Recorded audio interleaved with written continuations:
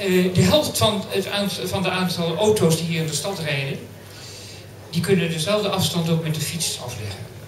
En dat is een stuk gezonder. Daarnaast neem je veel minder ruimte in beslag, het is milieuvriendelijk. Maar het is ook kwetsbaar. En juist vanuit die kwetsbaarheid is in de tijd de Fietsersbond opgericht. De Fietsersbond is een landelijke vereniging.